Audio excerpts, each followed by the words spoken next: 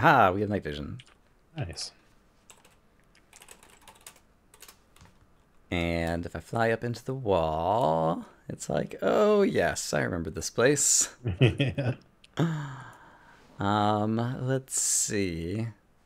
What are the things I want to talk about? First off, just like in terms of three dimensional structure, when I started going through this, it kind of felt a little bit maze like. And I remember really enjoying the pyramid maze from the original Vinyl Fantasy Mm-hmm. map. And um, yeah, when you're building something like this and like building all the different rooms, do you think about the 3D structure at all? Or do you just like, I want to build a room like this and build it and then build the next part and hope it comes together? Or Um, for this particular dungeon, uh, I centralized around. Well, I mean, obviously, this is the central structure. This uh, the kind of helix staircase area. Mhm. Um, so I had that in mind, and then I basically just had to build rooms until I got closer to the center to where I wanted to to place this. Um, but yeah, I mean, for the most part, when I'm I'm creating, I'm in MC Edit, so I'm you know when I'm inside the sphere, even if there's no rooms in it, I'm still seeing basically what we're seeing now. hmm And uh, Interesting. So you So, made yeah, the I- spheres I just- first. I just kind of imagined you built the dungeon and then like made a sphere the right size to like fit around it or something kind of thing. Yeah, yeah, no, I, I made the spheres first, and they were filled with a like a solid block of. Mhm. Uh, with this one, it was double smooth sandstone. well, yeah, which has your joke on the sign that I'm going to ask little bit, Right. right? Yeah. Um, so yeah, then I just I carve everything out. I, I, it's it's a lot easier and uh, Yeah. especially for a jam map um, when you have limited build time. Uh, doing inner and outer architectural detail that'll just that'll bog Oh, you down. I hadn't even thought about that. Right. Um, so you know, even though it did take some time to generate, uh, you the know, sphere, it's spheres kind of like a programmatic kind of thing and rather than stuff. Yeah, you know, to fiddle it with. took some time, but Mhm. as opposed to you know individually detailing a bunch of you know like a giant fortress like this, Mhm. it- yeah, the time is it's incomparable, really. Yeah. yeah, the Um, spheres do look really cool on the outside, but yeah, I hadn't even thought about that aspect of kind of like map making kind of stuff. Yeah, And yeah, I remember like Vechs talking about kind of like negative space in terms of like starting with something that's solid and then kind of hollowing out bits was kind of the easiest way to go. hmm Yeah, it's it's. I find that to be pretty much true. Uh, especially, I don't know. It, it- it's very strange for me to admit that because I used to make you know all my maps were built in positive Right. space uh, previously. Hmm. Um, but Vinyl Fantasy three is mostly a cave based map uh, for the most part. I see. That's spoiler something that we'll come back to. So- yeah, talking about right. later, I'm sure. But yeah, so I've gotten used to working. in- Right, and I hadn't really thought space, about and it, like, and you're it, just- and it really is more efficient. Like, their Vechs is definitely not wrong about that. Right. And I hadn't really thought about it until just now when we're talking about MC Edit, but like uh, the, I don't know if you call them, you know, brushes or whatever. So like I see all the spheres and rectangles and cylinders and Mm-hmm. uh, pyramids, and I hadn't really noticed it or thought about it before. Now, Yeah, I mean, this is all pretty basic MC edit structures, and then Mm-hmm. I just kind of come through with a uh, like another single block brush in MC edit and brush in all the details, like the arc arc ceilings and you know stuff like that. Um. All right. So let's see. Uh, and I like the fast travel to and from the beginning of the trance. Yeah. Um. Yeah. Fast travel. Sorry, the general second are one just- didn't work. it, it worked after I'd completed the first Yeah. trance, and so yeah. I, I think what they were is they uh, the first trance and the second trance were uh, accidentally running on the same scoreboard value. So I once see. you actually visited the first trance, gotcha. then the Then second it lit up the second worked. one. Yeah. Yeah. Got it. Yeah, Yeah, that was just I had yeah version 1.0, and I think everybody else probably has 1.01, yeah. um, where that got fixed. So yeah, there's the sign. I feel like in general with a lot of the signs, it's almost like you're telling inside jokes to yourself or something. Yeah, or just kind of inside community, uh, CTM community jokes, uh, which there's a, you know, when I say, "D- didn't you learn anything from I am, I'm referring to Inferno Mines, which Mhm. was uh, kind of a point of uh, conflict for the community because uh, there's there's a lot of people that really like that map and a lot of people that really didn't like that map. Um, but I boiled that whole argument down into the fact that no no one liked the uh, sandstone slabs, the uh, double smooth ones. So just kind of boiled that down into like a small little inside joke and yeah i don't know i like i said the whole lore thing like i'm just done with lore like i would rather just have like snarky map maker commentary Mhm. than you know anything too in depth I went back into uh, game mode one so I could see the bouncy creepers. And so Oh, right. basically, yeah, you just gave them tons of jump boost, and then the way that the floor is set up encourages them to jump, and so you see them jumping up here. hmm and then the short timer to make sure if they do jump up here they explode right they in your become a face threat. Um, in general, I hadn't really thought about it uh, this particular question, but like in general, like how many of the mob spawners have at least like one custom aspect on the mob, and it's probably like all of them. every single one Yeah. Okay. Yeah, that's why I kind of when I when I say I'd like the map to be harder, a lot of that is involved with re, uh, you know, Tuning the mobs. retuning. Yeah, all the the NBT data on every single mob spawner. So there's there's some filters that'll let you do that, you know, in bulk, but. Oh, right, right, right. when each spawner has a different mob and different everything, like you know that bulk filter won't really help you. You got to go do every spawner individually. I see. So yeah, that's why I'm kind of like, yeah, it's kind of easy, but oh well. I don't want to edit hundred thousand mob spawners today. So I love the trap in this room. For those who need a refresher, basically the back tr- chest is trapped, and it sets off some TNT that not only goes off right here, but also causes a big explosion in the back corner of the hallway right here, which is where the player would run uh, if they were to set off the trap. hmm And it was also kind of like the first trap I encountered in a trance dungeon, and so I got really lucky. Oh yeah, you're exposing all the redstone. That's going over to the other bit of TNT. And so yeah, I got really lucky that I didn't kind of like fall in the hole and kind of get exploded by the TNT, and so I just took some damage. Um, Yeah. And I did see that it was a trap beforehand. Something that I only realized after watching other people play the map is uh, on F3. Um, if you look at the block underneath Oh, the chest on the the top right, it actually it shows you yeah on the debug screen what block you're looking at. That's cool though. I'm I'm gonna have to remember that. I'll have to uh, disable the uh, the debug on my next map. Can you do that? Is there like a Yeah, there's a game disable? game rule for that. okay, cool. Uh, for I think it's called simple debug or something like that. I I'll- see. Awesome. I'll have to fiddle with that Yeah. myself just to know it.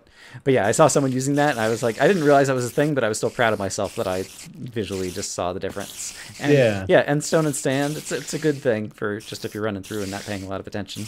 Works pretty good. And so I think yeah, the thing is now is like uh, people are just so aware of drop traps like that or block update traps that right. you know that's And- why kind of why I did this redstone thing with the uh, TNT because yeah, like you said, you're gonna hit the trap and And then here it is, and then run for your yeah, exactly. And so you, and just about everybody I saw did that, so that must be fun for you to watch. Uh, Oh, yeah. people's playthroughs.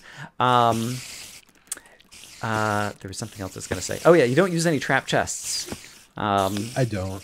and yeah, is is there any particular aspect you don't like about it, or Well, th- the fact that you can look at a trapped t- chest and tell that it's trapped right. I mean, it's just too easy. I, I, don't see. know. All right. I, I- thought the way that they they implemented those, uh, they being Mojang, was Hmm. like a little, a little weak or so. I don't know. I, I, I think it's great when people can debug a trap and you know pull it apart. Uh huh.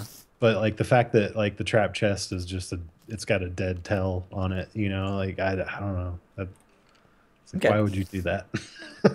so yeah, that's that's my philosophy behind that. Trap chests are too easy.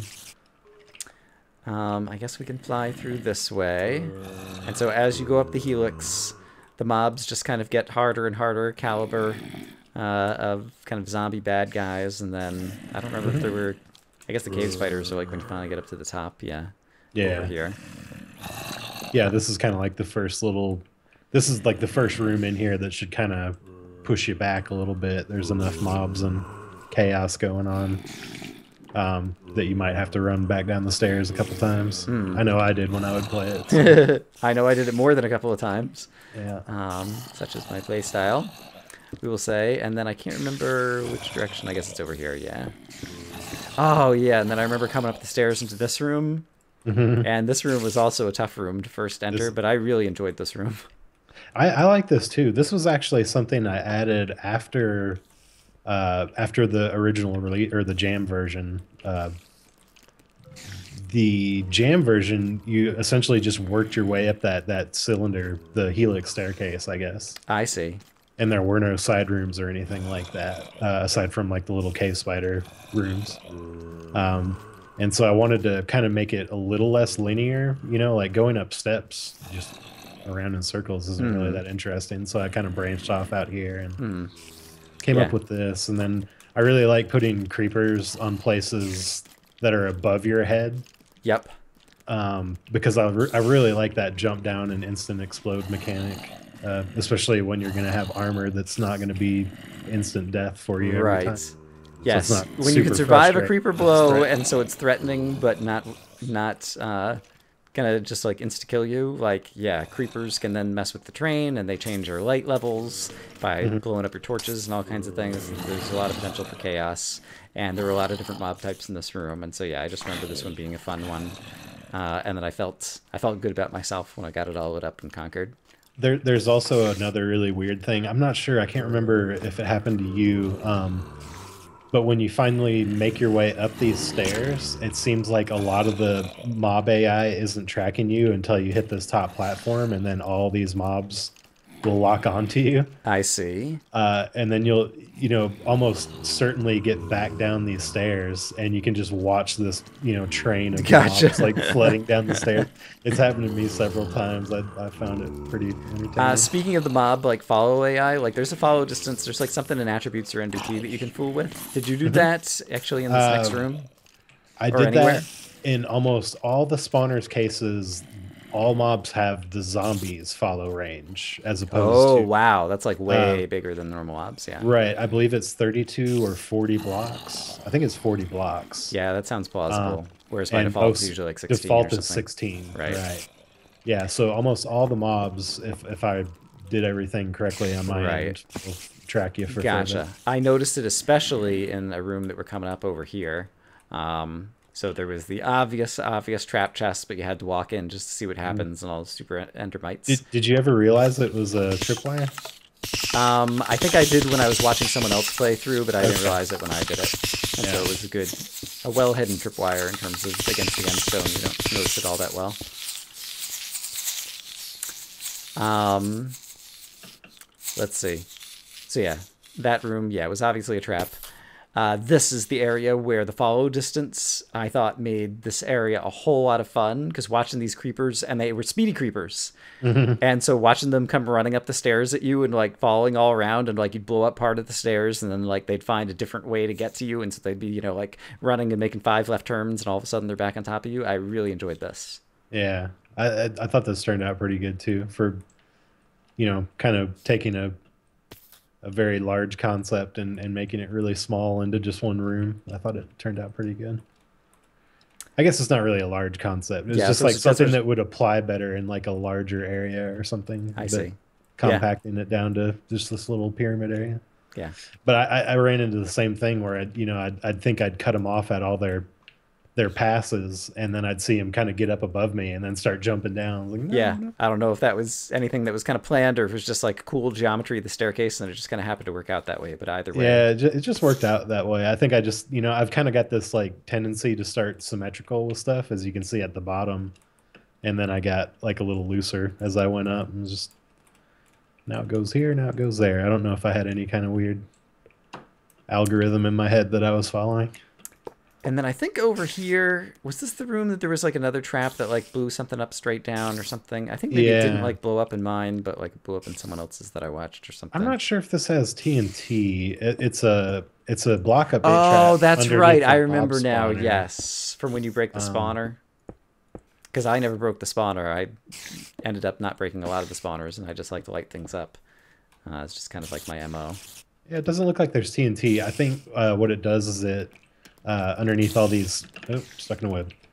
Underneath these sides over here, there's a bunch of dispensers, Right. uh, and so it triggers a like a burnout torch. I like to use burnout burnout torches a lot. Those are the uh, ones that these go are- click, click, click, click, click, click, click, 16 times or whatever. Yeah, and so these are full of cave spiders. Right. I guess we can set that off. We won't die.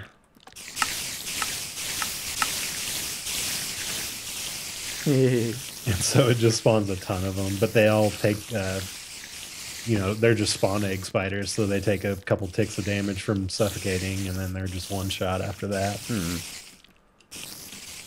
Neat.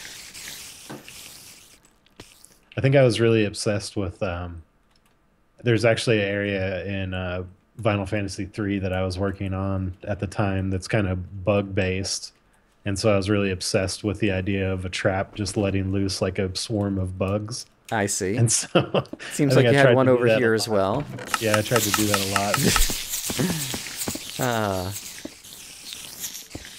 So yeah, and yeah, this was another one that, yeah, most of the traps, it's like I would see them, and I wouldn't think too hard about how to disarm them, and I would just think, all right, here's what I'm gonna do. I know it's a trap. I'm just gonna open it and run.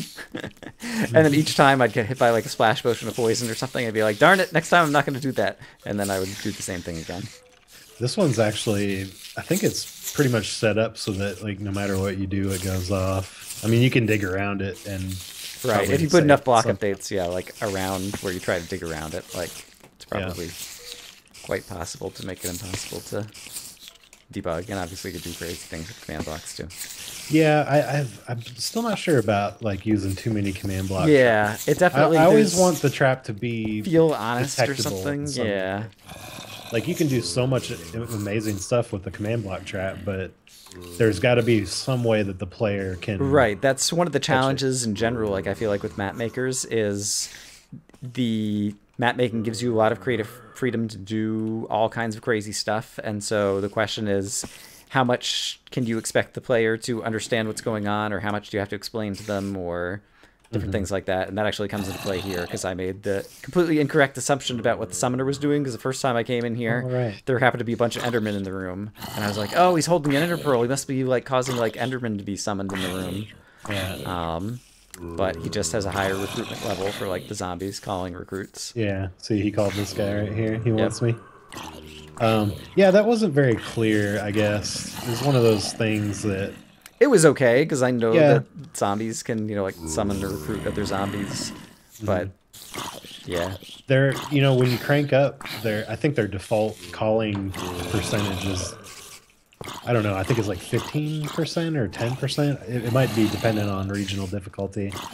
Uh, but you know I crank these guys up to seventy or eighty percent, and they they don't really call a lot of zombies. It yeah. I didn't see anybody uh, get swarmed over with them, and so yeah, I'm not exactly sure how the Minecraft algorithms work with that, but it. it It's kind of one of the those things that where I realized it wasn't kind of working as intended, and then I just was like, just you know, it. Yeah. Yeah, it's like I, I could probably add like 30, 40 command blocks and make them do something cool. Right. I don't want to do that. Yeah, as a map maker, I know exactly what you mean. It's like, hmm, I had this idea and it didn't quite work out, and it's like I could spend another 20 hours on it and make it do what I wanted it to do, or Yeah. I could do something else with 20 hours of my life. Yep. Yep. And then let's see. Right, this room with the first ghast spawner. This is a tough room. It was, yeah, it was surprisingly tough. It was mostly tough because I had a hard time getting the ghast spawner taken out, and with the ghast, so you have the fireballs like doing more damage on the ghast. The fireballs do double uh, the default. Okay, uh, so that explains it. So they'll break, like you can actually They'll break blocks use- that they don't normally Yeah, you can actually use them to destroy the spawner. Yes. Uh, returning their fireballs. That actually happens to me in Trance Dungeon number two, and so that was one of the things that I didn't realize it had happened until afterwards, uh, and I wasn't sure exactly what was happening. I suspected just based on how much fire was being caused by the ghasts um, that it was extra explosive power in the fireballs. Um, but I didn't kind of really think through that concretely while I was playing the map to realize that it would break more blocks and I could take advantage of it. Um, but yeah, I actually went and looked up, yeah, like all the details of like ghast, explosive, and what blocks they could break and different kind of things after I played the map because I was curious about it.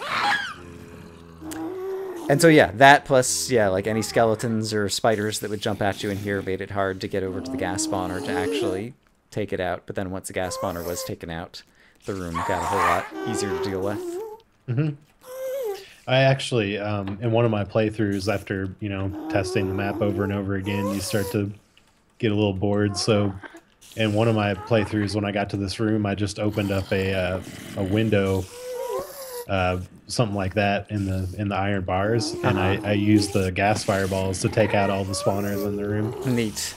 yeah, it was pretty fun. The yeah, ghast pong. Yeah, if I'd realized it was a mechanic that I could use like that, I, it would have been fun to use. But unfortunately, like I said, it was like it didn't occur to me, and so that's another thing that like, yeah, I don't know how to deal with it. Like, you don't want to give everything away up front, but at the same time, like, Yeah. if players aren't even aware of the fact that ghast fireballs can have more explosive power than the defaults, and that means they can blow up more things. Yeah, Yeah. it's I, I kind of go by like the general rule of thumb that Minecraft doesn't explain anything to you on its own. so you know, like whatever you're trying to tell your players in map maker is it, it's bonus material basically. Like they should be they happy happy that they know. Hmm. But yeah, and then they're yeah, like you said, you know, telling telling them right away, like, hey, guess what? You can return these ghast fireballs and destroy almost anything. Like that's I don't know that that would be that fun. Um, I'm trying to go in game mode three and F3N. I guess like I don't know if it doesn't work in multiplayer or what, but uh, or maybe oh, it's a 1.9 thing, isn't it? And we're 1.8. Ha. I th- I think so. Yeah. yeah. And then I finally got to the wool in this dungeon, and one of many things I did not notice, or the wool. I just called it the wool. Sorry. Okay. I finally got inside the bird cage, and did not notice the secret key at all. I- oh, that's right. That's right. forgot I don't know if that. it's by design that there's one level here and levers just happen to be something that kind of fades into the gray background of the whatever, and the fact that the player has been so focused for the past hour trying to beat this room, and I finally get in here, it's just like grab a record disc and run. You But know, I, think a better place for that lever would have been in between the two records. I don't know if you're looking in that chest. oh yeah, I see. like it is now. right. But then I would have had to put another one, and there Right. comes like that symmetrical Then, creative yeah. OCD again, and you're just like, no. I don't know, maybe like this or something. Yeah, I don't know. would've been better. But in You any got, like, case- a Triforce thing going on. I did not notice the secret key, but apparently if you use the secret key, I guess I went back Yeah, after give- I saw somebody else do it. And if you use Shot. it over here, then it just like opens up a secret shortcut passage to get back out of the dungeon. Although you have to take fall damage unless you had already gone to trance 3 and gotten the water buckets, or had gotten some slime blocks, or Yeah, I guess maybe just make a build boat. yourself a stair play. yeah, I guess you can kind of build your way down. Yeah. Uh, but then you get down to here, and then you still have like a six block fall or something. I didn't Yeah. know if there was yeah any any thought that went into that, but it doesn't really matter. Um, basically, the only thought was like I, I really one of the things that I'm really critical of like my early maps was that every single area was like you get the wool and then you have to turn around and walk all the way back out. Yep. And I really think that's like poor level design. So yeah, basically I just Right. wanted to get you out of that wool room in a different direction. I Right. didn't really care where it dropped you. Right. So and this also isn't too bad though. Yeah, and also for speedrunners, like it's uh, I'm sure um, makes them happy. And Yeah. I've, I've talked to you, like I've at least thought about trying to speedrun this map. Um, and yeah, stuff like that definitely helps. Yeah, there should be like I don't really design too much with speedrunning in mind. Um, so if you picked apart these dungeons, you'd see I didn't like use a lot of bedrock or barrier Right, blocks right. to block off sections, so you could dig around quite a bit and get some good shortcuts. Indeed. And yeah, I actually, yeah, in my playthrough, I like once I had a sense of the 3D space, like cut a couple of shortcuts just to make it easier because I was going back and forth a lot. Um, I think that's everything from Trance 1 that I want to talk about. Shall we head over to Trance number 2? Sure.